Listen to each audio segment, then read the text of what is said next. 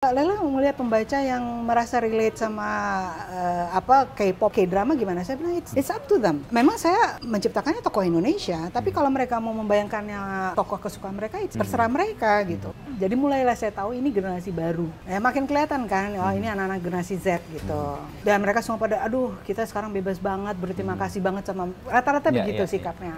Jadi kayak memberikan perspektif yang lain dengan Iya, pengalaman hari jadi ini ya. mereka tuh merasa relate. Kalau istilah mereka kan relate ya, relate. Kalau kita kan istilahnya nyambung. Nyambung ya. Nyambungnya tuh kayaknya karena mereka anak-anak muda, tokoh-tokoh muda. Mungkin karena mereka melihatnya ini eh, mahasiswa yang idealis. Jadi mereka sendiri sampai bilang, aduh kita kita kok pikirannya nggak seperti ini, kita tuh nggak gitu loh. Sementara ini kan pikirannya Negara, ah, ah, dan bangsa, berani untuk kalau keadilan. ditangkap, Mhm. berani sampai mereka disiksa sebagainya. Jadi mereka sendiri merasa mereka picture, they try to picture themselves gitu.